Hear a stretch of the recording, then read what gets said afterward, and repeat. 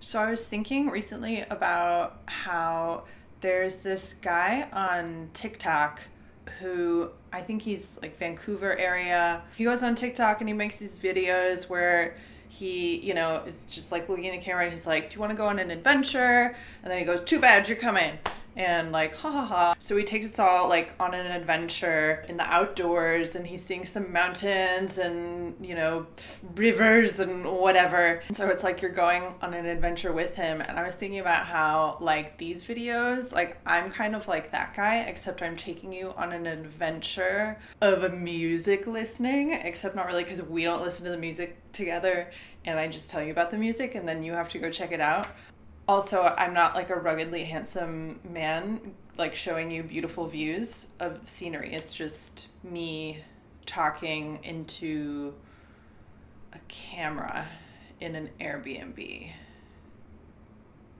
So anyway i just wanted to tell you about a couple of things i've been listening to. What else do i do on here? So the american wild ensemble came out of this 2016 initiative called music in the american wild that was meant to help celebrate the centennial of the National Park Service.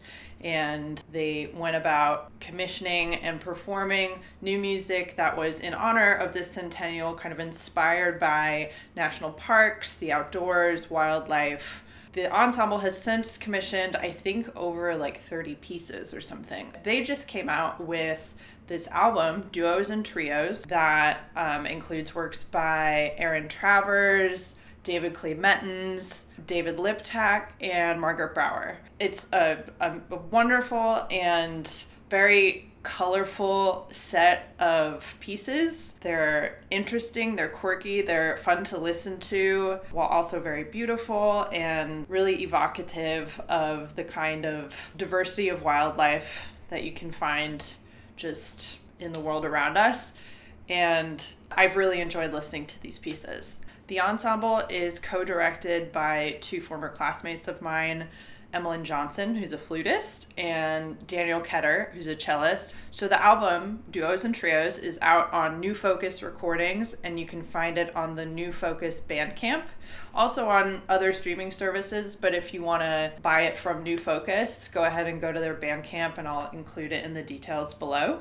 Also, I highly recommend checking out their website because they're always adding new events where they're doing live performances, and they're all really, really wonderful performers and great people. So, the second project I want to tell you about is a new EP from Jonathan Hannau. Uh, Jonathan, if you don't know him, is a Chicago based pianist, composer, teacher improviser. One of the things that I love about Jonathan, aside from his just being like a fun, nice dude to be around, is that while he appreciates and has a lot of experience in playing like the weirder, thornier, like classical contemporary music, is he can also just sort of like jam out for a while and do this kind of like neoclassical, um, more consonant, ambient kind of music. And he's really great at it.